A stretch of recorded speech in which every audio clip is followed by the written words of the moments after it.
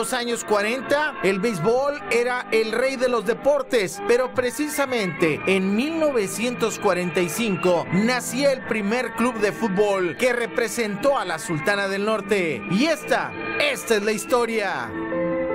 En esos días, un entusiasta Ángel Escobedo se trajo al Nuevo León el Campeonato Nacional de Fútbol Amateur. Y así, el 31 de marzo de 1945, la selección de Nuevo León en la gran final del torneo en la categoría de primera fuerza venció dos goles a uno a su similar de Jalisco. Por primera vez, un selectivo regio ganó un título nacional en el fútbol amateur y lo hizo de manera invicta. Todos en Nuevo León se emocionaron, se preguntaban si no era tiempo ya de tener un equipo aquí en la comunidad norteña, un equipo que participara en la Liga Mayor de Fútbol Profesional. Y así fue que se inscribió el primer club regio en la naciente liga. El campeón amateur regiomontano fue la base del primer equipo profesional de Monterrey. Arnulfo Avilán, Juan Bladé, Buenavad y Rivas, entre otros, fueron los primeros regios en jugar fútbol profesional en México y fueron dirigidos por Manuel Galán. Para ese primer torneo de 1945 46, la directiva reforzó al plantel al contratar a un futbolista argentino que hoy en día continúa siendo una leyenda del fútbol sudamericano, Emilio Baldonedo, quien se convirtió en el primer goleador del Monterrey en su historia. El señor hizo 20 goles en su primer torneo en México.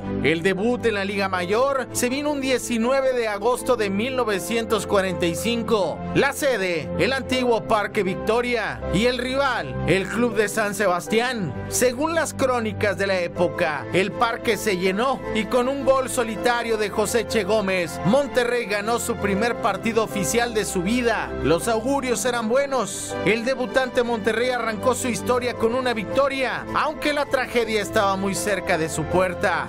Pero esa, esa es otra historia.